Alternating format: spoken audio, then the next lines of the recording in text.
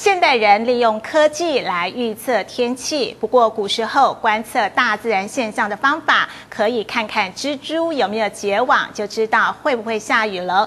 所以有一句话说：“蜘蛛结网，久雨必晴。”意思就是气压升高，空气干爽，蜘蛛所结的网才会有粘度，这就代表天气即将要转晴了。所以呢，师大生命科学系的副教授陈世煌，他特别利用一年多的。时间走遍台湾来探究蜘蛛的奥秘，结果他发现五十五种以前不曾记录过的蜘蛛，所以着手撰写了《台湾蜘蛛志》，要建立台湾蜘蛛的完整图鉴。今天蜘蛛真面目系列专题，我们就要带大家来认识这一群数量庞大，在我们生活周遭就可以看得到的蜘蛛。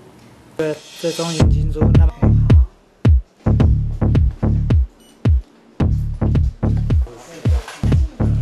陈世煌教授的实验室，就是间收藏了五万多只蜘蛛的标本室。一般人看似恐怖的蜘蛛，陈教授的形容却是：蜘蛛呢，丑得很可爱。在头部后面这两个凹窝，台湾已知蜘蛛中最大的人面蜘蛛，背面斑纹像极了一张人脸，腹部斑纹又像是可爱的小鹿斑比。这次发表的新种鬼面蜘蛛，看上去是颗骷髅头，长相怪异的枯叶尖鼻蛛，腹部像是一片枯叶，可以巧妙的伪装。最漂亮的就属中型金蛛，金色纹路非常艳丽。最致命的赤背寡妇蛛，毒性最强，足以致人于死。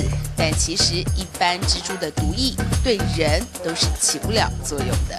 一般蜘蛛的这个毒性是对它的猎物比较毒，也就是它对这个节肢动物啊、昆虫啊这一类的这个动物呢，那么它它打下把毒液打下去以后呢，很快就制服它的猎物。但是我们这哺乳类跟这个节肢动物呢，这个神经系统啊可能不太一样。蜘蛛看起来吓人，事实上却很怕人。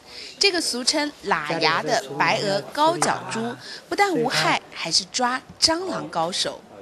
它呢是这个会护卵，所以它是一个这个慈爱的妈妈。那同时呢，因为它晚上才会出来找东西吃，那么它晚上可以吃的就是一些这个蟑螂。所以它是我们家里天然的刻章。电影里蜘蛛人可以飞檐走壁，而蜘蛛也确实可以借着吐丝有一流的弹跳功夫。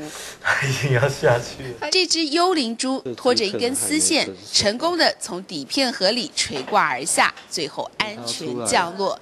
但这个安全锁也不是每只蜘蛛都有，会结网的蜘蛛比较进化，不会结网的蜘蛛就只能靠原始本能抓猎物了。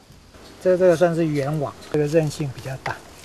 哦，哎，那比较有弹性。对对，比较有弹性，所以这个昆虫啊掉掉落掉上去啊挣扎的时候呢，比较不容易被逃脱。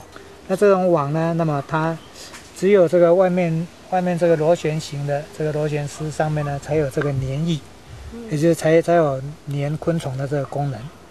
那至于这个辐射辐射状的这个丝呢，这个是没有的，没有这个粘液的。不同蜘蛛织出来的网各不相同，但共通点是坚固又有弹性，在科学家眼中是不可思议的纤维材料。丝呢非常的轻，所以如果我们能够开发它来当做这个防弹衣啊，那我们这个这个阿兵哥啊、警察啊，那就不用背着这个 这个非常重的那种防弹衣。另外，丝它因为是蛋白质，在医药上面也许可以。可以做一些这个，这个当做类似像纱布一样这种止血的止血的这种纱布啊。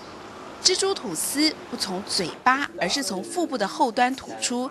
蜘蛛也不止在山林间，这只犀角蛛就是在溪边生活，还会捕鱼呢。